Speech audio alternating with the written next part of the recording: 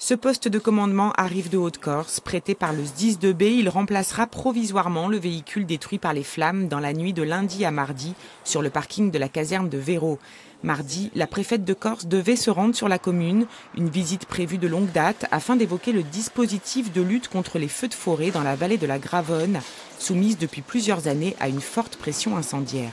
Il y a eu pas mal de départs de feu intentionnels l'an dernier euh, et que ça recommence cette année avec un cran supplémentaire parce que là, euh, l'incendiaire ou les incendiaires euh, ont mis à mal l'outil opérationnel de travail des sapeurs-pompiers. Donc c'est extrêmement grave. Les circonstances du sinistre ravivent les inquiétudes concernant la présence de pyromanes dans la vallée de la Gravonne. L'incendie du camion s'est déclaré alors que les pompiers intervenaient à quelques kilomètres sur un feu de mobilhome. Deux départs de feu ont aussi été constatés à proximité de la caserne. À mon avis, il y a un lien direct entre euh, la visite prévue de la préfète pour mettre en place euh, un système de, veille, de surveillance par l'intermédiaire d'associations, etc., etc., et, l'incendie du bungalow et, du, camion de la caserne des pompiers.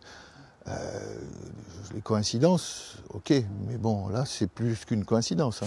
100 hein. hectares partis en fumée en 2016, 35 départs de feu constatés en 2017 sur les communes de Véro et Tavaco, tous intentionnels. Selon les élus locaux, le calme de l'été 2018 n'est dû qu'à des conditions météo favorables et à une surveillance renforcée du territoire.